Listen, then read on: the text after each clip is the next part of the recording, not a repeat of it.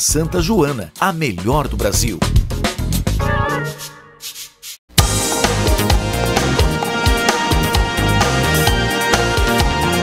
Olha só, muito bom dia, 11 horas e 7 minutos aqui na Rádio Cidade. 11 horas e 7 minutos no Cidade Entrevista, dentro do Manhã Cidade. Né? Sejam todos bem-vindos e bem-vindas. Hoje, segunda-feira, vamos bater um papo com o ex-líder do governo na Câmara Municipal de São Caetano, Macói Vasconcelos. Né, ele já está aqui à minha direita, ele pertence aos quadros do PL, Partido Liberal, e ele já está aqui à minha direita na bancada e à sua esquerda aí na tela da Rádio Cidade. Inclusive, se você quiser ter a experiência Rádio Cidade, nos acompanha pelo Flix Cidade, que você baixa rapidinho aí no seu Android, no seu, no seu iPhone, e também pode nos acompanhar pelo nosso canal do YouTube. Nosso canal é Rádio Cidade 99.7 Reportagens. E aí você aproveita né, e se inscreve no canal, tá certo?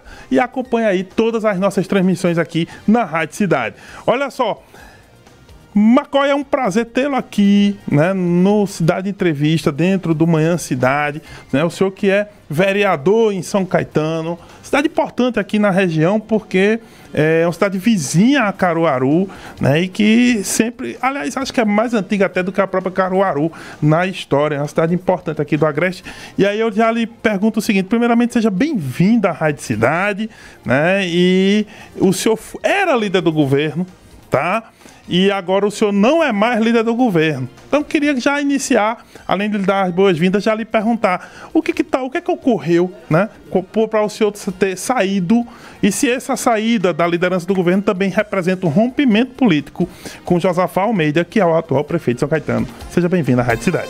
Bom dia, professor Marco Aurélio. Bom dia a todos os ouvintes. Quero agradecer essa oportunidade aqui na Rádio Cidade, abrir esse espaço para a gente debater São Caetano. Na verdade, professor, realmente houve um rompimento com o grupo do atual prefeito, no qual teve insatisfações da minha parte e do povo de São Caetano, quando, inclusive, professor, ele esteve aqui para dizer que seria candidato a prefeito da cidade de Caruaru. Então, não aceitamos isso. Achamos que isso é uma falta de respeito com o povo de São Caetano. É uma humilhação para o povo de São Caetano. Ele, no primeiro mandato de prefeito, já está querendo sair de lá, usando São Caetano como trampolim para ser candidato em Caruaru. Querer dizer que São Caetano agora não serve mais para ele, que São Caetano ficou pequeno e agora ele tem que ir para Caruaru. Querendo renunciar antes mesmo de encerrar seu mandato, querendo renunciar sem querer encerrar o seu mandato de quatro anos que o povo lhe deu.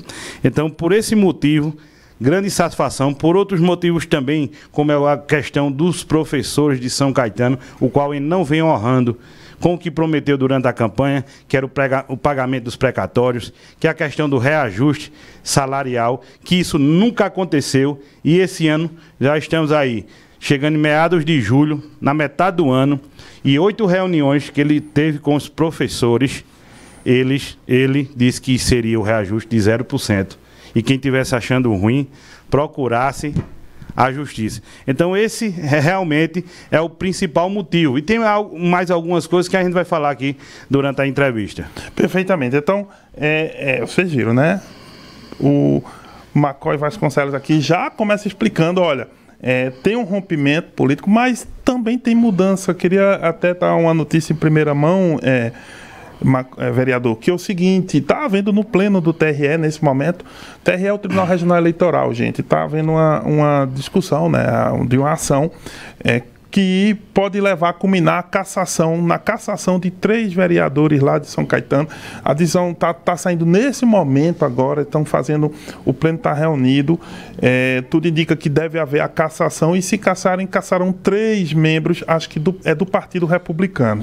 Nesse sentido, é, isso muda a configuração de forças lá em São Caetano, na, na Câmara de Vereadores.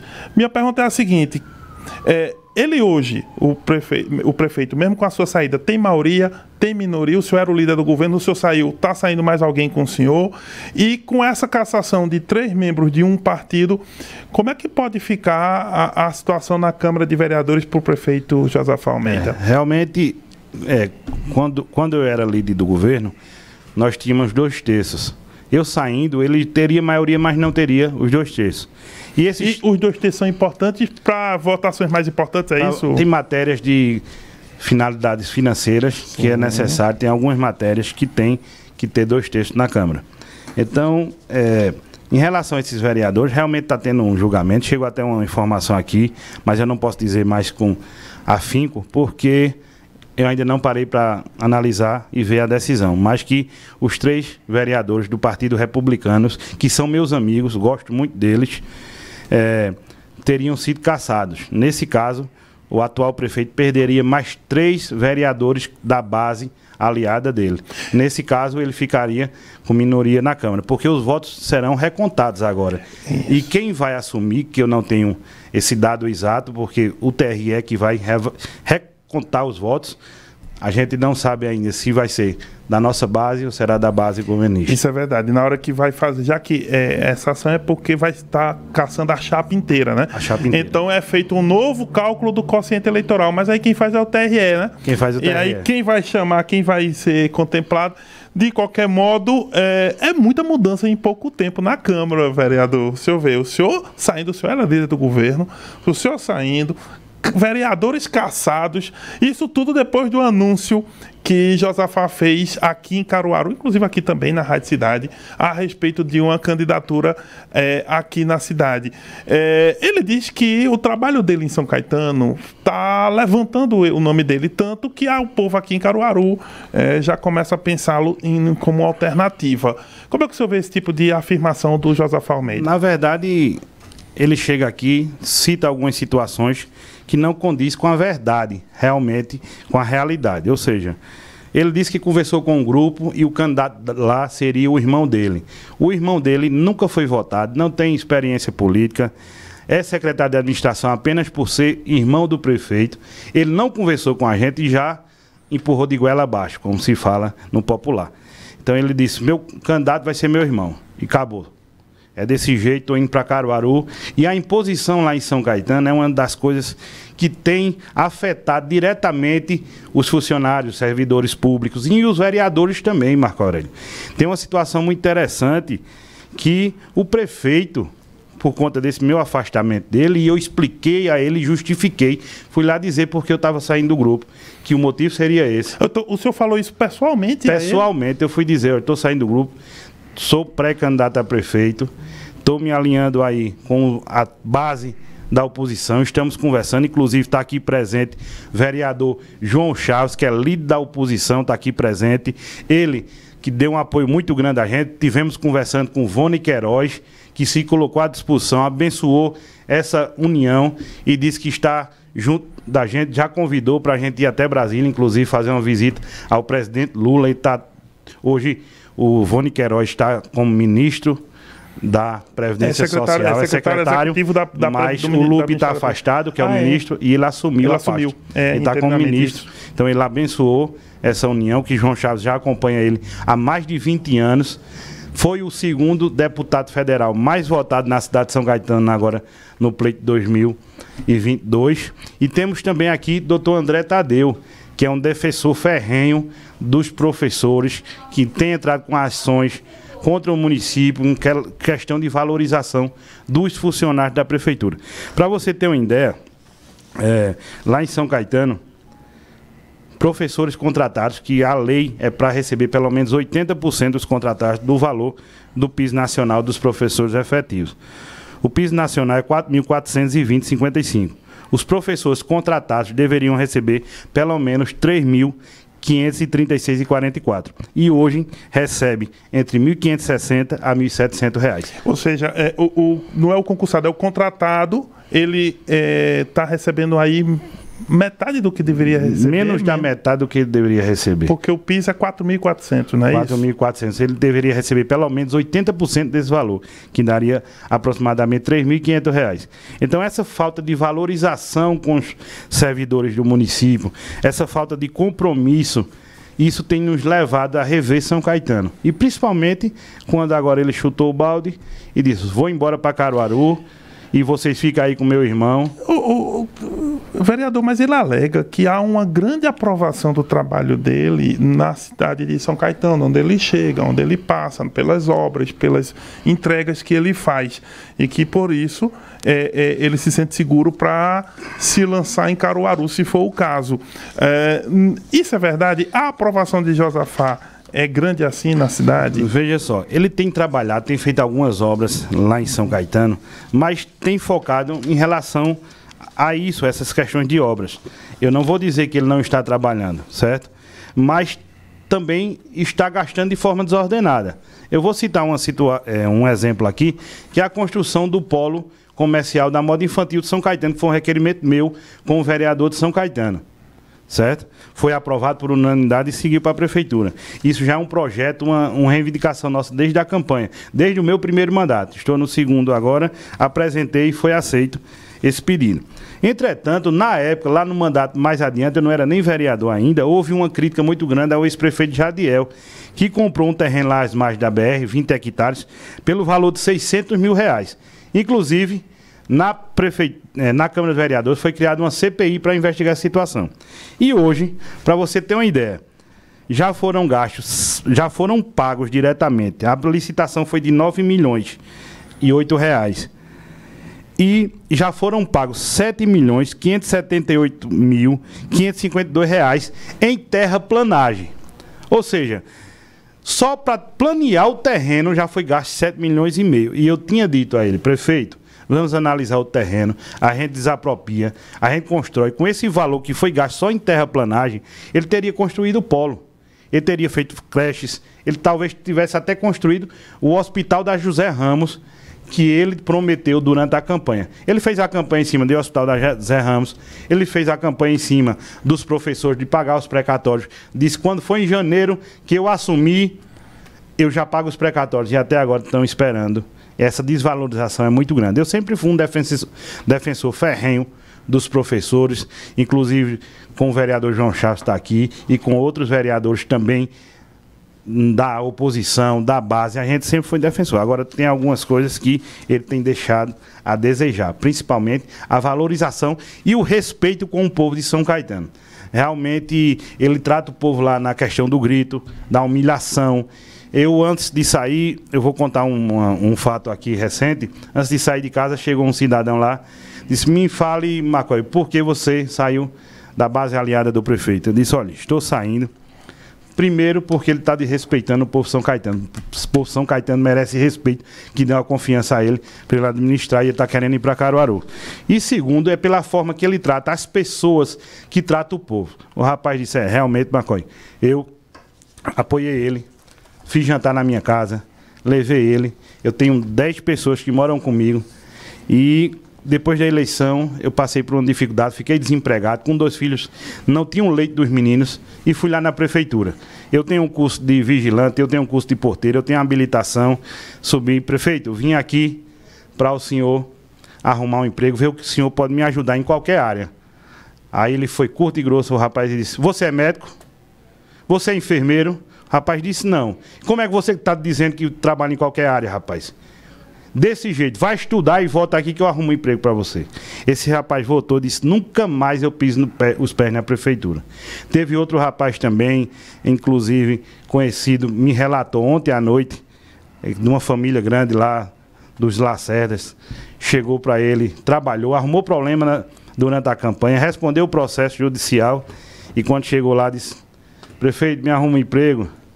Ele disse: tem emprego de cozinheira para você. Nem cozinheiro era, de cozinheira. Você quer emprego de cozinheira? O rapaz lá saiu chocado e disse: nunca mais eu piso na prefeitura. E isso são vários relatos da forma que ele trata o, pro, o povo de São Caetano com desprezo.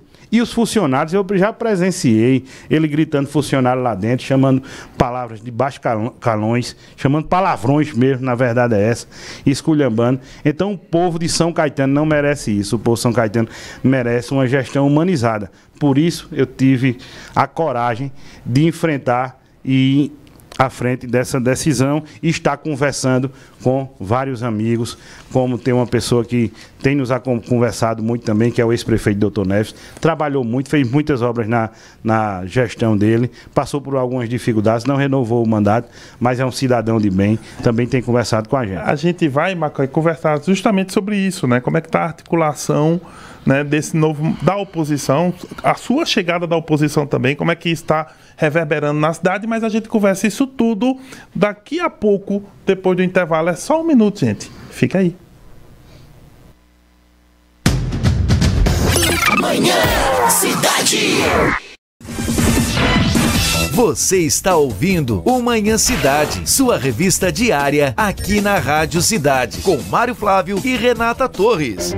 Apoio Unicred Caruaru. O que é bom a gente nunca esquece. Unimed Caruaru. Cuidar de você, esse é o plano. E Nevinha Cama, Mesa e Banho. Bom gosto e requinte para o seu bem-estar. Água Mineral Santa Joana, a melhor e mais vendida água mineral do Brasil, jogando com você o futebol pernambucano. Conheça também os refrigerantes Santa Joana nos sabores laranja, uva, guaraná, limão e cola. Água Mineral Santa Joana, a melhor água mineral do Brasil. Retífica Moura, solução para o motor do seu carro em Caruaru. São mais de 18 anos trabalhando com os motores nacionais e importados. Linha leve e pesada, com alto padrão de qualidade e 100% de garantia nas peças e serviços. Tenha condições especiais, negociando diretamente com o dono. Fale com quem entende. Motores é com a Retífica Moura. Rua Gilberto Freire 22, Vassoural, próxima UPA Estadual. Telefone WhatsApp 9 9288 9074. Peça já o seu orçamento.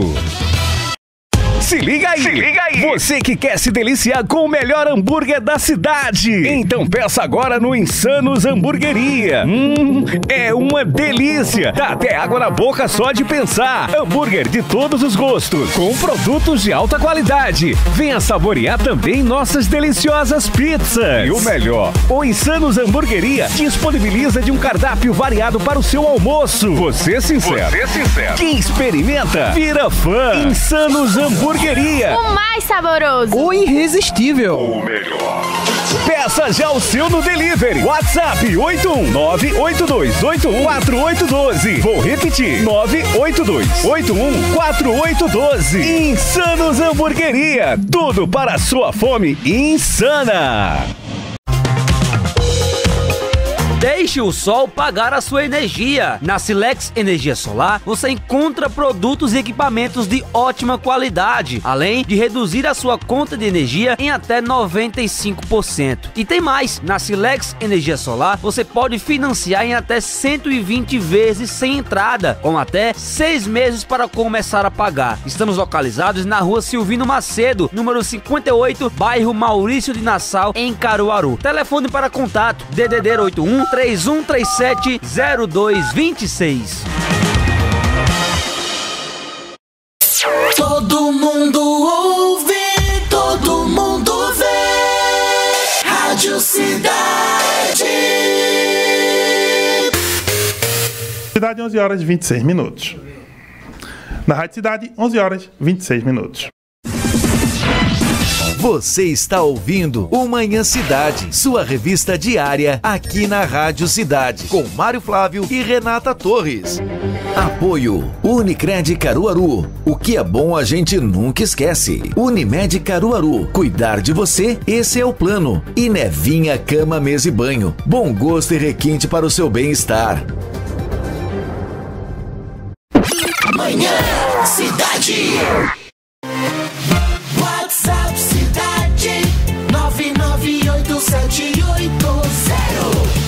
9987099.7 Apoio Rockball, o boliche de Caruaru.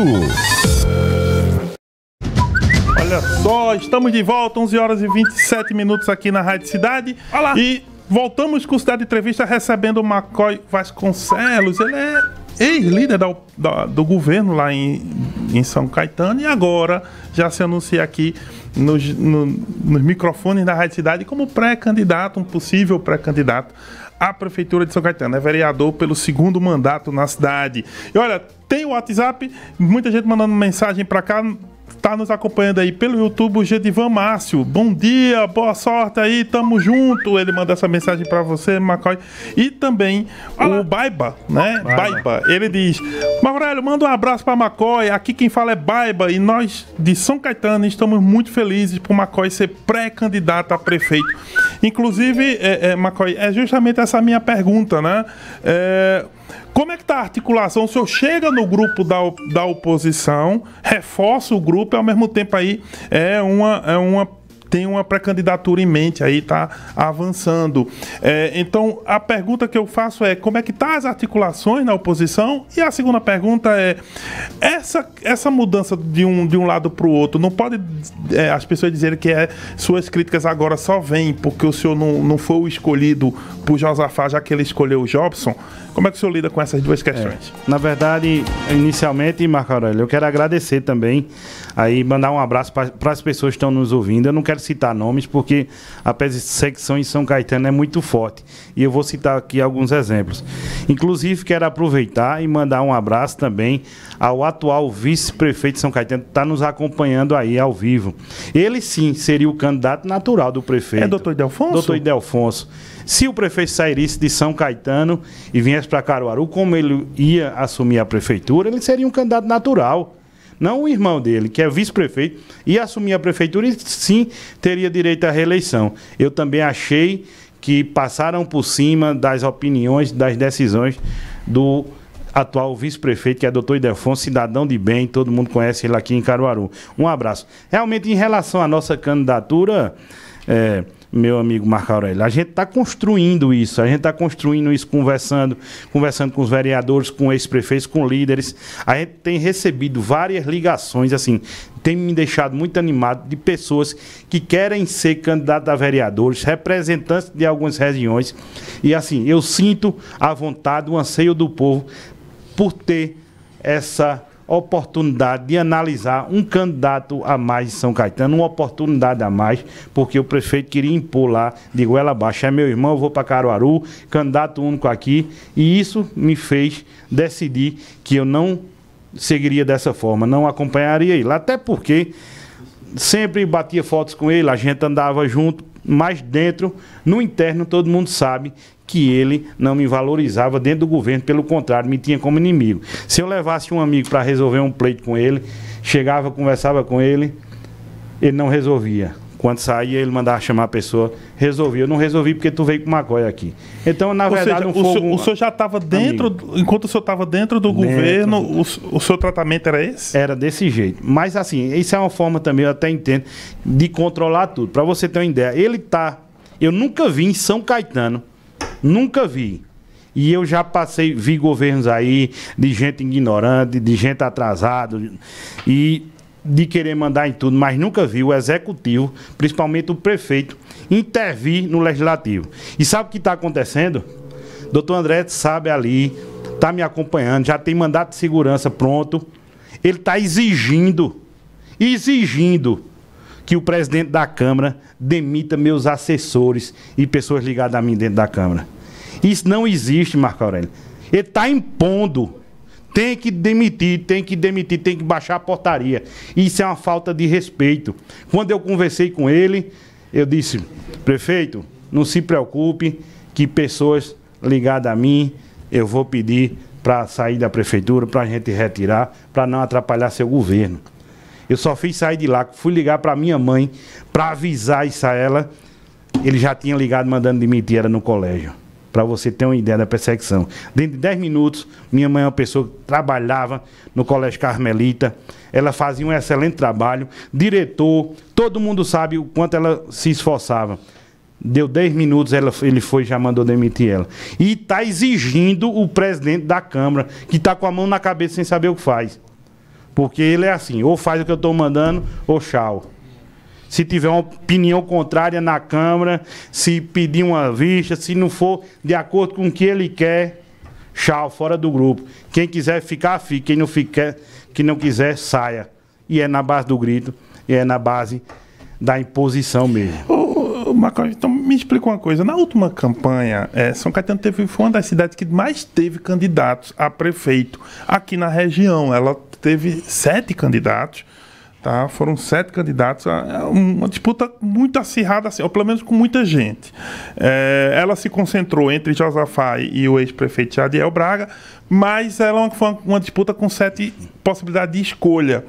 Nesse momento, é, a oposição tende a sair muito dividida desse jeito ou é concentrar numa única candidatura? Como é que como é que tá a ideia lá? Não, a gente está construindo uma única candidatura. Realmente nosso nome está tendo uma boa aceitação em São Caetano, mas eu digo, a gente não é de empurrado goela abaixo, a gente vem conversando. A gente vem conversando, se articulando com os vereadores, são todos meus amigos, tenho o maior respeito, mas eles sabem o que estão passando junto ao prefeito. Eu venho construindo, estou conversando, conversamos é, no sábado também com grandes apoios, a exemplo do deputado federal Eduardo da Fonte, que é inclusive ligado à governadora. Vamos amanhã lá para o partido PP, que é uma oportunidade que ele está propondo a gente ser candidato pelo PP, Partido Progressista. Então o senhor pode mudar do, do PL para o PP? Posso sim, mas também já recebi ligações de Fernando Rodolfo, que é o representante do PL, disse que quer conversar comigo, eu estou pronto para escutar. A gente vai montar. Então a gente está conversando e montando. Sou pré-candidato, mas a gente está montando essa estrutura, conversando com calma, para uma única candidatura. Eu venho chamando cada candidato, desses sete candidatos, Marco Aurélio, uhum. você citou, eu já conversei quase todos. E com Jadiel, tem aliança? Estamos conversando também com o Caio, estamos conversando com com o Caio. Ele foi prefeito recente, o povo não aceitou, mas a gente vai conversar com todos. A gente tem que debater São Caetano. Na verdade, feito eu disse, tem ter suas falhas, mas também ter suas qualidades, ter seus seguidores, e a gente tem que unir. A gente tem que conversar, tem que unir. Eu almocei sábado também com os filhos do ex-prefeito de Alvásio. Eu também tenho um maior respeito por eles. É, eu acho que Josafá também acompanhou, fez uma perseguição muito grande agora na campanha de deputado com eles, mas, bom, São Caetano sabe. Eu quero e eu peço respeito por São Caetano. Prefeito, respeite São Caetano, que o senhor está desrespeitando, fazendo São Caetano de trampolim, querendo chegar aqui, faltando com a verdade. Feito ele disse que pagou os professores 25% de aumento. Não foi dessa forma.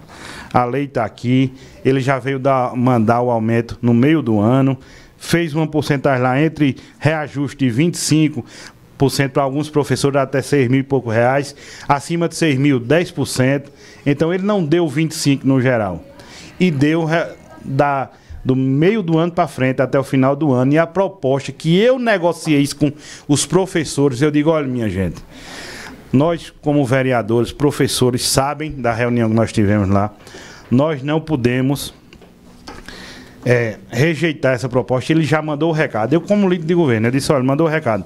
Ou aprova desse jeito ou volta. Se voltar, ele não vai mandar mais, vocês não vão receber nada. Vamos aprovar dessa forma que ele está mandando. E mais na frente a gente pressiona ele. Ele se comprometeu para o início do ano, mês que vem, em janeiro, que era janeiro de 2023, já negociar novamente um aumento. E não foi cumprido dessa forma. Realmente, para você ter uma ideia, Marco Aurélio, os professores foram quem puxaram a campanha dele em 2020. Foram o carro-chefe, foi quem lutaram, quem trabalharam, e foi várias promessas voltadas ao funcionalismo público, inclusive aos professores. Era proposta de reajuste salarial, respeito, pagar o retroativo. Ele disse que pagava todo jeito. Eu levei Fernando Rodolfo lá para São Caetano, fiz audiência pública com os professores relativos a isso. Fernando Rodolfo orientou como era que estava sendo feito, pagando em alguns municípios e até agora ele não fez e está desrespeitando. E mais de oito reuniões ele fez disse: dou zero, eu não dou reajuste. Conversei com ele, ele disse: eu não dou de jeito nenhum. E ainda ameaçou professores. Disse: eu vou mandar. Eu vou mandar um projeto para a Câmara para diminuir meu salário, para professor aqui não ganhar mais do, do que eu. Aí eu vou começar a organizar e vocês vão ver. E, mas ele não chegou a mandar isso ainda não, né? Não mandou ainda. Ele disse isso na reunião com o sindicato. Não está na hora de um concurso público para a cidade, não. Realmente. É, seria se o senhor vier a ser pré-candidato ou mesmo a oposição. Isso é uma pauta? Sim, isso é uma pauta. O último concurso que teve foi em 2009. Inclusive, eu sou concursado do município. Eu sou funcionário público, estou licenciado, mas fui concursado em 2009. Teve dois concursos agora, mas foi específico: agente de saúde e é, guarda municipal, que também ainda não foi implantada. Que é uma questão de segurança pública lá em São Caetano, é muito solicitado pela população. Então, deveria sim ter concurso. Eu sou a favor do concurso público. Até para parar com isso, de, de, dessa questão de imposição. Não vou te dar um emprego porque tu vai me acompanhar politicamente. Se você não tiver comigo, eu boto você para fora. Inclusive, eu não quero citar nomes aqui de várias pessoas que se sentem constrangidos e com medo dele realmente. Eu tenho amigos, amigos de infância que hoje tem medo até de estar tá ligando para mim por telefone, porque se ele souber, ele persegue, tá mandando recado e está impondo. É desse jeito. Então, infelizmente, eu estou vindo aqui e mostrando a vocês a bolinha de ouro que está querendo ser candidato a prefeito aqui em Caruaru. Então, era muito bom para a gente se essa bolinha de ouro ficasse por aqui, porque a gente se livrava dele. Mas se ele voltar, não tem problema. Ele pode vir ser candidato a São Caetano, a gente está preparado para debater São Caetano. Agora saibam, ele vai voltar para São Caetano, porque ele vai estar tá com medo de perder a eleição, se Deus quiser, para a gente. Olha só, é. é acredito que está tá esquentando aí a eleição 2024 em São Caetano. É, agora tem um detalhe. É, a candidatura do Jobson, né, vinda com o apoio do Josafá, ela não parte numa certa vantagem, não? É, já há pesquisas assim, é, e principalmente ela tem força? Como é que o senhor vê essa candidatura ou eventual candidatura, já que o próprio Josafá disse que ele seria o substituto dele? Veja só, é, foi bom até você ter tocado nessa, nesse sentido. Houve uma enquete recentemente, uma pessoa lá em São Caetano fez uma enquete e colocou. Você votaria em quem para pré-candidato a prefeito de São Caetano? Jobson Almeida ou Macói Vasconcelos? E essa enquete a gente venceu com 67% a 33%. Então isso já consegue a gente refletir o sentimento do povo. Realmente é complicado pegar e jogar uma candidatura de goela abaixo, ele com esse tratamento com os funcionários, a gente sabe a falta de respeito que está havendo. E, feito eu lhe digo, é muito fácil, é muito cômodo para mim chegar aqui e dizer que eu, que eu sou pré-candidato a prefeito. Por quê? Eu sou vereador de dois mandatos, eu atuo no legislativo, todo mundo sabe minha atuação, eu tenho conhecimento jurídico da causa, eu atuo lá, eu fui vereador. É importante, eu costumo dizer, todo prefeito de, cada cidade de São Caetano, do, do município, do, do estado ou do Brasil, ele deveria primeiro ser vereador, porque o vereador é o político mais próximo do povo, ele sabe a necessidade. Então, eu me sinto preparado para sair como pré-candidato. E eu não vejo ele preparado para isso, certo? Mas, assim, tem muita coisa que acontece em São Caetano que a gente vai vir colocar à tona aqui. E cidade pequena, é danado para acontecer esse tipo de coisa. Estou dando emprego para isso, estou dando emprego para isso. Desvio de função. Inclusive, eu vou citar aqui, Marco Aurélio, você me autorizar. A primeira dama do município, qual tenho o maior respeito, esposa do prefeito, mas ela é secretária de planejamento. Certo? Está lá no portal da transparência, quem quiser entrar. E ela atua lá no centro de saúde, atendendo o pessoal, fazendo marcação. Então, isso fica claro que é uma está sendo usado ali o cargo de secretaria de planejamento apenas para a política. Que se ela está ali para planejar projetos, para ela analisar São Caetano, ela deveria estar tá junto do prefeito, deveria estar tá lá na prefeitura. E ela está ali atendimento no centro de saúde, é o canto que tem mais fluxo da saúde do município. Então tem essas questões que a gente vai vir colocar à tona, vai mostrar ao povo de São Caetano, vai debater tá certo? Tem algumas coisas. Ele está fazendo, sim, algumas situações, mas está pecando em outras. Um exemplo, ele reformou a praça de frente da prefeitura, não deixou uma árvore. Todo mundo ficou revoltado. Fez a. Agora está reformando a Avenida Pedro Almeida, que é de frente do cemitério, próximo ali onde eu resido. Arrancou todas as árvores. Não tem arborização nenhuma. Ele está fazendo construção e derrubando tudo. Então, a gente tem que analisar São Caetano, fazer uma gestão mais humanizada, analisar, escutar o povo. A gente vai construir essa candidatura, mas conversando e ouvindo os amigos, feito eu tenho feito. Então, é isso que eu planejo, é isso que eu tenho para dizer e tô gostando muito dessa entrevista, porque a gente colocar isso e mostrar ao povo de São Caetano, principalmente e agora de Caruaru, né? Que não está querendo vir para cá, mostrando realmente quem é o administrador que está lá. Perfeitamente. A gente, a gente vai fazer o seguinte, Macoi. A gente vai para o intervalo e na volta a gente volta para o último bloco com o Macói Vasconcelos, que é vereador de São Caetano. Fica aí, é só um minuto. Amanhã, cidade. Você está ouvindo o Manhã Cidade, sua revista diária aqui na Rádio Cidade, com Mário Flávio e Renata Torres. Apoio Unicred Caruaru. O que é bom a gente nunca esquece. Unimed Caruaru. Cuidar de você, esse é o plano. E Nevinha Cama, Mesa e Banho. Bom gosto e requinte para o seu bem-estar. Nutriaves Pet Center, com duas unidades para facilitar a sua vida na hora de comprar alimentos, medicamentos, acessórios para o seu animal de estimação. Unidade 1, Rua Silvino Macedo. Unidade 2, Avenida Francisca Lira Florencio, após a antiga mansão Forró. Entregamos a domicílio. Siga nossas redes sociais e acompanhem todas as novidades. Descomplicar a hora de cuidar da saúde é essencial e em Caruaru você pode contar com o mais completo cartão saúde, o São Gabriel. Com ele você tem descontos no que precisar, exames, consultas e procedimentos médicos, além de acesso a mais de 600 profissionais de saúde credenciados na região. É por isso que quem tem o cartão Saúde São Gabriel não precisa de outro. Cartão Saúde São Gabriel, Rua São Gabriel, 897 Caruaru, fone 3719 2897. Seja uma nova versão de você. Ative seu modo confiante com a tintura Max Tom. Renove seu visual com cores intensas, da raiz às pontas. Proteção Maxplex e brilho extremo. Max Tom, liberdade para ser mais você. Saiba mais em embeleze.com. A casa é sua, porque não chega agora. Até o teto tá de ponta cabeça, porque você demora. Casa é sua, porque não chega logo. Nem o prego aguenta mais o peso desse relógio. Tupã, há 40 anos, você é de casa.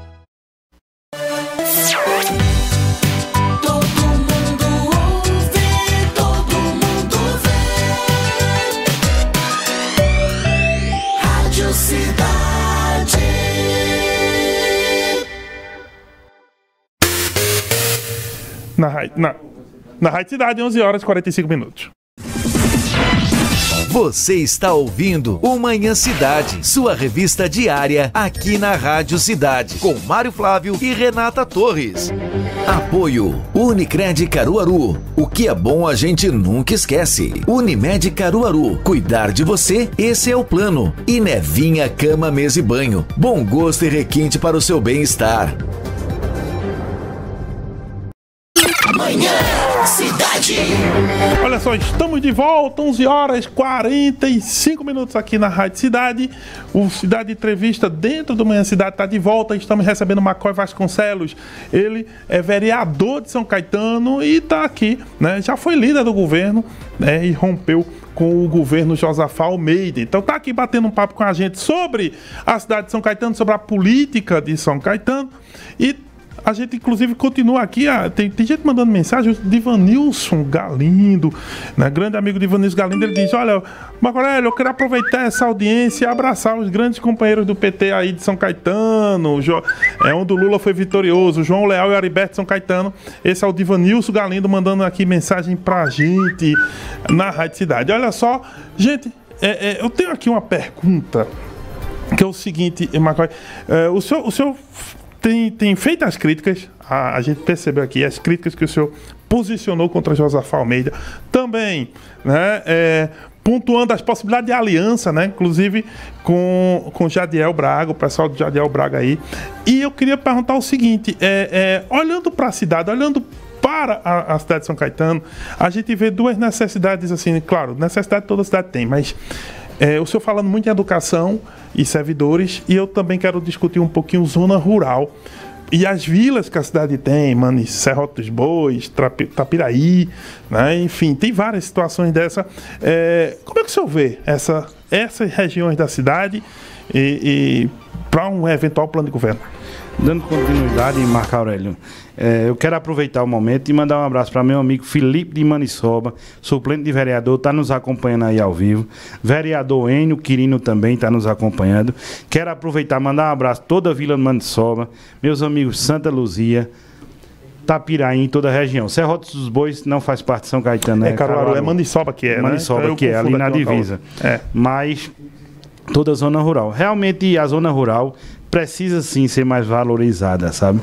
A gente critica porque a gente tem aqui essa liberdade de falar. Hoje a, as estradas estão acabadas e é um pleito muito grande que o pessoal solicita é, a questão das estradas, principalmente com essas chuvas. A gente vai pedir, é uma dificuldade para a gente solicitar, mandar um maquinário. Às vezes o prefeito só quer fazer a estrada principal, não quer fazer as vicinais e realmente está a zona rural está abandonada pela atual gestão, certo?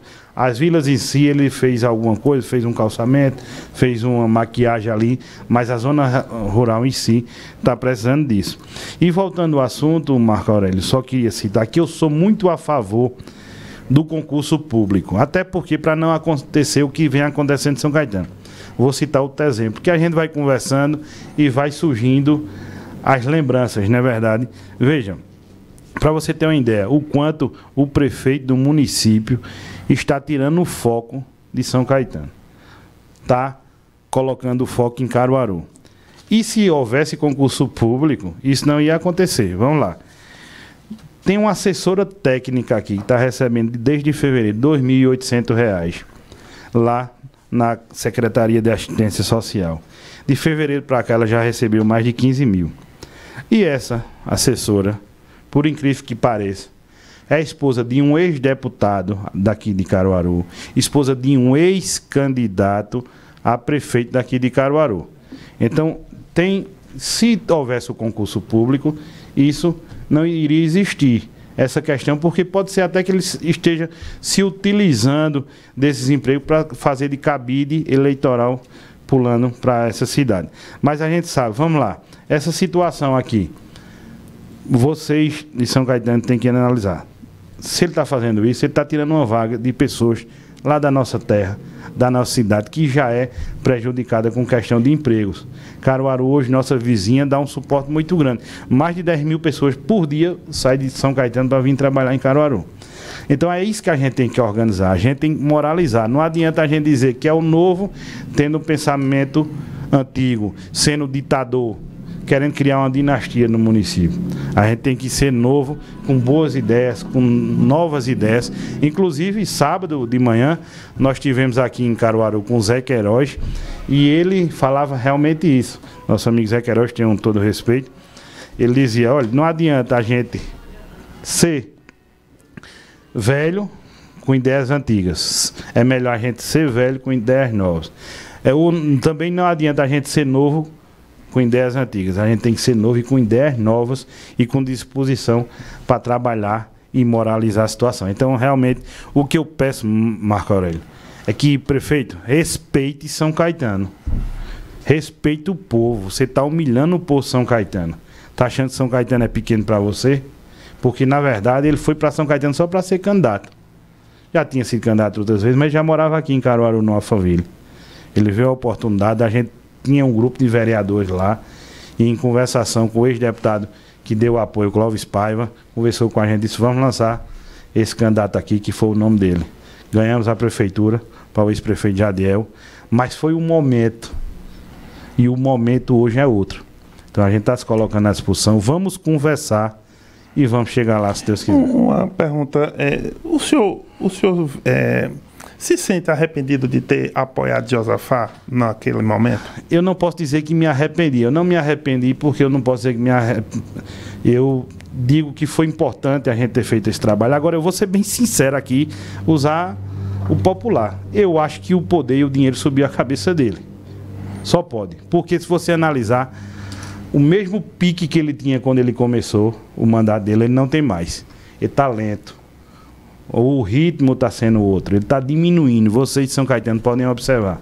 Então, talvez, não sei se essa vontade de sair de São Caetano, de se afastar do povo, tem feito isso. Eu vejo ele uma pessoa muito revoltada, tanto com os servidores quanto o povo. Eu vejo ele reclamar que, por questão de ética, eu não vou citar aqui o que eu já ouvi ele falar das pessoas, mas é, realmente não me arrependo, mas eu esperava mais, eu esperava um comprometimento maior com a cidade, com o mandato dele. Né? Eu não posso dizer, acho que no início a gente citou que o candidato, o irmão dele é uma candidatura forte, é sim. Tem servidores trabalhando na prefeitura, eles têm toda uma estrutura política, tem é uma candidatura forte, mas o povo sabe que está sendo uma imposição. E com imposição o povo não aceita. Ignorância, a gente tem que acabar com isso. O povo tem que ser respeitado, bem tratado. Nós queremos uma São Caetano humanizada. A verdade é essa. Olha, que ele manda um abraço. É o vereador daqui de Caruaru, Anderson Correia. Abraço para Macói. Ele está aqui escutando a, aqui na o Cidade Entrevista. Meu amigo Cidade. Anderson Correia, muito obrigado. É uma pessoa muito boa também tem nos ajudado nessas articulações. É, inclusive é o presidente do PP de Caruaru. O PP né? de Caruaru, ele também, através dele, através do nosso amigo vereador lá de Santa Cruz, também, Carlinhos da Coab, o presidente da UVP, Léo Duá, que é presidente da Câmara de Vereador de Gravatar, foram eles que me indicaram e articularam para a gente conversar com o deputado Eduardo da Fonte, que está é muito animado. Conversa? Quando é essa conversa? Essa, nós conversamos, já iniciamos a conversa sábado, à noite lá em Bezerros. E vamos continuar e encerrar essa conversa amanhã à noite, 6 horas, lá no partido, na capital pernambucana. Ou seja, então, amanhã à noite tem essa conversa com o deputado Eduardo. E aí, ou seja, as tratativas estão a todo vapor. Bem, a gente vai chegando ao final da entrevista, é, vereador. E eu queria agradecer sua presença aqui na, na Rádio Cidade, tá certo? é, dizer que é o seguinte, os microfones estão sempre abertos, né, para a gente, né, tanto ao senhor como a, a situação também de, de São Caetano, de Josafá Almeida, inclusive Josafá já veio aqui, tá, para a gente conversar sobre é, a eventual candidatura dele, ou pré-candidatura, no caso, aqui em Caruaru, enfim, a gente está sempre recebendo o pessoal da região. Quem lhe mandou um abraço também aqui é o, deixa eu ver, mandou mensagem aqui, o Pedrinho, né, tá mandando aqui um bom dia, né? Tá mandando aqui a mensagem, estou esperando aqui o Pedrinho digitar aqui. Agora, Macói, é um prazer tê-lo aqui. E o seguinte, pergunta final para a gente terminar o programa, tá? Para a gente terminar o programa, que é o seguinte: é... o senhor vai conversar também com Idelfonso? O senhor acha que tem jeito de tirar Idelfonso? Que o senhor fez uma cena a ele aqui durante a entrevista. Idelfonso é o vice atual. O senhor deu a entender que ele está sem voz no governo porque o Josafá já está escolhendo outra pessoa que não é, não é ele, que seria o candidato natural. O senhor poderia, o senhor acha possível chamar Idelfonso para é, é, para uma conversa? E se ele viesse, o senhor retirava sua candidatura em prol da dele? Veja só, isso tudo é uma conversação que a gente tem que ter. Vamos conversar com todos. Eu não quero impor nada. O que tem é feito o prefeito. Ele está impondo aí a candidatura do irmão dele, mas ele esqueceu de combinar com o povo. Na verdade, eu estou combinando com o povo, eu estou conversando. Vamos sim conversar com o Indelfonso. Se ele quiser conversar, nós vamos conversar. Eu quero montar uma candidatura com base para a gente chegar lá e chegar uma vitória para ser competitivo. Então existe essa possibilidade da gente conversar sim com o Indelfonso. Indelfonso é meu amigo, cidadão de bem, digo, tenho o maior respeito, votei nele. Antes mesmo da gente não estar trilhando o mesmo caminho, como foi na campanha de 2020, eu já tinha uma boa relação com ele. Então, feito eu digo, ele seria o candidato natural, mas não foi, e eu sei das imposições. Mas estou disposto, estou aberto para a gente conversar e montar essa candidatura. Olhe, só para aproveitar que a mensagem do Pedrinho, ele diz o seguinte: Bom dia, Macorelli, bom dia, Almacói. É, para candidato, qual seria seu projeto para a ponte do Cabuga? Cab, Cabugá. Cabugá. Né? Para a ponte do Cabugá. Porque é uma ponte antiga e nós sabemos da tragédia que teve recentemente. O senhor tem projeto para essa ponte? Tenho sim. A questão da ponte lá, a gente enlarguecer aquela ponte, que hoje passa um carro a, a pulso, um veículo. E ali é a ponte mais movimentada. E para você ter uma ideia, é, tem uma que era uma passagem molhada lá no loteamento Zé do Machixe para a BR-232, que agora a água levou do rio Pujuca e dificultou mais a passagem. Então, o único acesso está sendo pela ponte do Cabugá. Meu projeto é um projeto aí de criança. Eu me criei em São Caetano. Eu nasci em São Caetano. Eu estou criando meus filhos em São Caetano. Eu tenho três filhos, tenho outro tá no forno saindo agora em agosto. Sou casado. Eu compro meu pão em São Caetano. Eu, eu utilizo os mercados de São Caetano. Então eu conheço a realidade do nosso município. Então eu sei os anseios do povo. E eu já disse isso. Eu já fiz requerimento tem que ser analisada essa questão da passagem molhada. Pode ser viabilizada, inclusive, uma construção de uma ponte que é o pessoal que desce ali na rodoviária, próximo à Polícia Rodoviária Federal, e mora no loteamento do outro lado. Ali, muita gente trabalha em Caruaru, precisa pegar a BR, e agora estão sem acesso, estão tendo que passar pela ponte do Cabugá. Então, Cabugá, eu quero mandar um abraço para todos os meus amigos aí do Cabugá, e com certeza, nosso projeto vamos viabilizar, se Deus quiser. A gente vai apresentar isso no momento adequado para enlarguecer aquela ponte, se Deus quiser. Perfeitamente. Gente, vamos encerrando a entrevista de hoje. Recebemos Macoy Vasconcelos, vereador, hoje no PL, né? Mas está aí conversando com o PP. Ele é vereador em São Caetano, ex-líder do governo e agora está na oposição de, da nossa querida São Caetano. Gente, vocês vão ficar agora com para relaxar, né? a gente vai encerrando Manhã Cidade também. Vocês vão ficar com para relaxar, vem aí uma seleção de músicas maravilhosas da MPB. Quem tiver no YouTube, se inscreva no nosso canal, é, vale muito a pena. A gente sempre tem transmissões importantes aqui e que você sempre vai ficar bem informado, sabendo de tudo que ocorre no Brasil, no mundo e na nossa região, tá bom? Amanhã eu volto no Café Forró e Política com o nosso querido Lucas Medeiros, tá? E sigam aqui na programação